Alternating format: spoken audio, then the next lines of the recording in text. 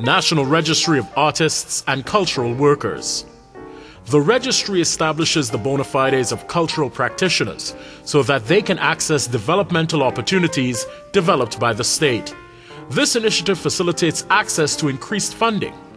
The call is for all artists, cultural workers, cultural groups, academics, and interested persons to get registered and apply to gain official recognition as an artiste. You will be rewarded with internationally recognized certificates and become registered artists and cultural workers. For more information, visit our website www.culture.gov.tt.